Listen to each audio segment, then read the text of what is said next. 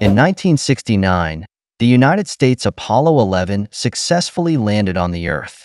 This feat not only opened the human space exploration journey, but also triggered a fierce global competition for the moon. Since then, the moon has become a target for many countries to explore. Although many countries have announced their own lunar exploration plans, hoping to leave footprints on the lunar surface, few countries have actually achieved this goal in the past few decades. Although China is one of the countries that joined space exploration later, it has made remarkable achievements in lunar exploration.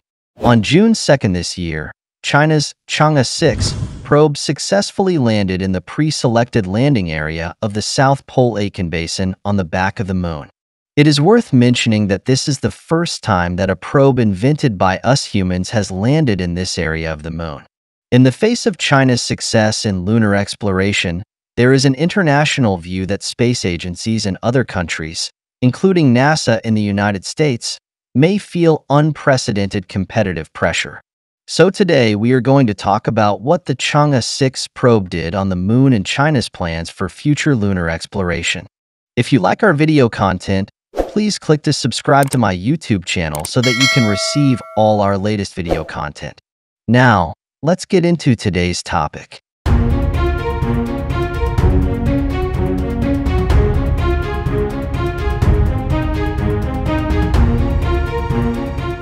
In fact, the first to land on the back of the moon was not the recently highly watched Chang'e 6, but China's Chang'e 4 probe. Although Chang'e 4's mission was mainly focused on basic photography and detection work, it did not carry out more complex ground activities due to the technical limitations of the time.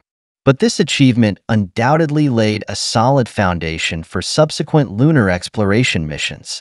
In the same year, China signed a letter of intent for cooperation on lunar exploration with the French Space Research Center. According to this agreement, French scientific research equipment plans to carry the Chang'e 6 probe to the moon. With the joint efforts of both parties, the mission design and preparation of Chang'e 6 have been gradually completed.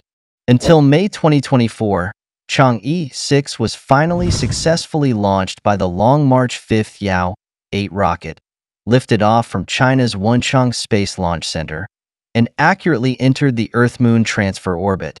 As far as I know, the Chang'e 6 mission is not only China's space exploration effort, but also a model of international cooperation. In order to enhance global scientific and technological cooperation, this mission carried high-tech equipment from different countries, including a radon detector from France, a negative ion detector from the European Space Agency, a laser corner reflector from Italy, and a CubeSat satellite from Pakistan. In the 25 days after the launch, the Chang'e 6 probe experienced a long journey of about 400,000 kilometers and finally landed successfully on the Apollo crater in the South Pole Aitken Basin on the far side of the moon on June 2nd this year. After landing, Chang'e 6 performed a series of complex and precise tasks. The probe used its intelligent sampling system to collect precious soil samples from the lunar surface and sealed the samples in a dedicated storage device of the ascender. This is the first time that humans have mined the far side of the moon. This feat not only once again demonstrates China's outstanding strength in the field of aerospace, but also adds new hope to human exploration of the vast universe. So why does China want to mine on the moon? The Aitken Basin is the oldest impact crater in the solar system, and its scientific research value is extremely important. This huge basin was formed in the early stages of the moon's birth. It has a diameter of about 2,400 kilometers and a depth of an astonishing 8.2 kilometers. Apollo crater, currently believed to be another impact crater formed about 4 billion years ago, has a diameter of 490 to 540 kilometers.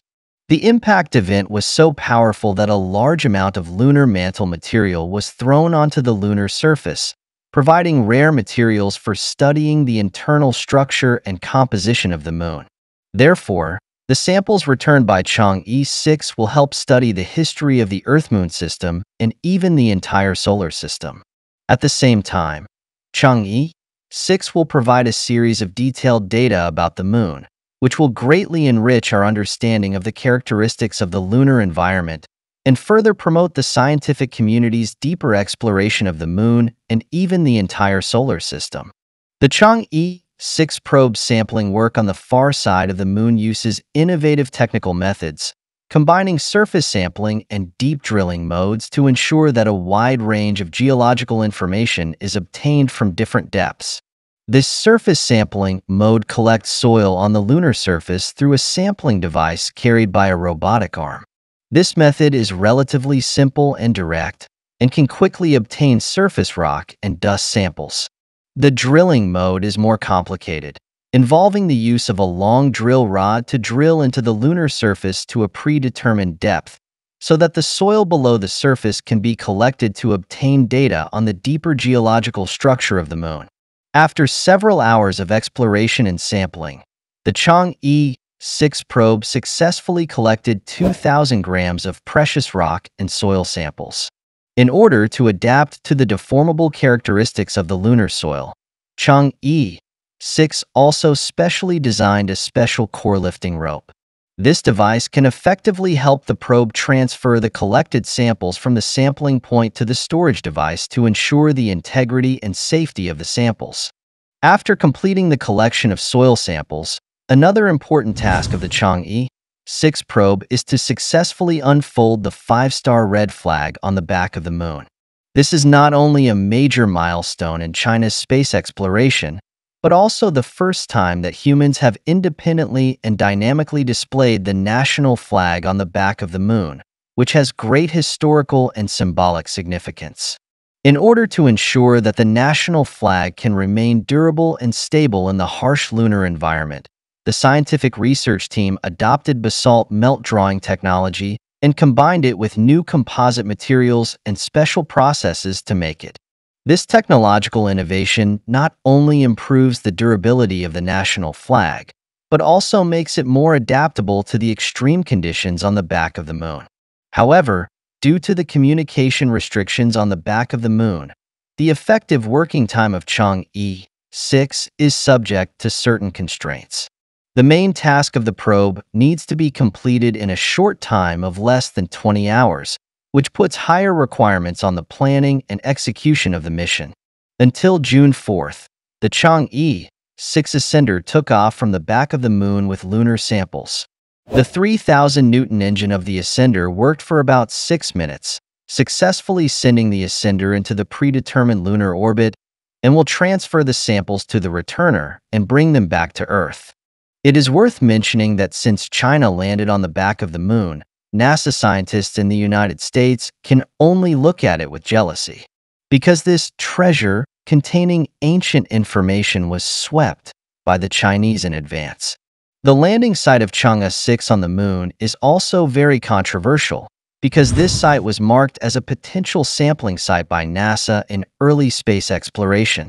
Although NASA has been promoting the plan to return to the moon in the past few decades, the technical challenges faced and the slow progress expected show that even the traditional powers in space exploration have encountered bottlenecks. Therefore, the successful landing of Chang'e 6 is not only a major technological breakthrough, but also a challenge to NASA to some extent. It is not difficult to see that this success of China may indeed arouse NASA's attention and urgency because it reflects the increasing competition faced by the United States in the field of space exploration. But before China's Chang'e 6 landing mission on the moon, humans have always had great interest in exploring the back of the moon. So, how difficult is it to explore the back of the moon? In the history of global space exploration, the United States and the Soviet Union launched a total of 84 satellites to the moon in order to gain space superiority, including 34 from the United States and 47 from the Soviet Union. Despite this, all successful lunar sampling missions have focused on the front side of the moon, because the sampling missions from there can communicate directly with the Earth. The exploration of the backside of the moon has become extremely difficult due to signal transmission problems because the mass of the moon blocks direct radio wave transmission. The key to solving this problem is the use of relay satellites, which can orbit to specific points in the Earth-Moon system, such as Lagrange points or halo orbits, to relay signals between the Earth and the backside of the Moon. The maintenance of such orbits requires highly precise technology because even a slight deviation or angle change in the orbit may affect the accurate transmission of signals. In this regard, China uses the Queqiao 2 relay satellite to ensure communication with the Chang'e 6 probe on the backside of the Moon. The successful deployment of Queqiao 2 not only solves the problem of signal transmission, but also marks an important breakthrough in China's deep space communication technology. This technology allows Chang'e 6 to perform missions on the backside of the Moon and safely return data and samples to Earth, which provides extremely valuable information for scientific research on the Moon and its backside. In fact, the success of Chang'e 6 has laid a solid foundation for China's future plans in the broader space field, especially Mars exploration. Because more than 20 years ago, China had formulated a Mars exploration plan, and its long-term vision included a sample return mission to Mars. Following Chang'e 6, China also plans to launch an asteroid sampling mission next year, which will further exercise the country's ability to carry out deep space sampling missions. These experiences will be invaluable for the Mars sample return mission expected to be implemented around 2030. Although China may not be as good as the United States in terms of overall understanding of Mars, the gap is not as big as imagined. Each Mars exploration mission is carefully designed to prepare for subsequent, more complex missions. To not miss out on our future projects and news updates, please make sure you subscribe to our channel and turn on notifications. We will continue to provide you with more exciting and interesting content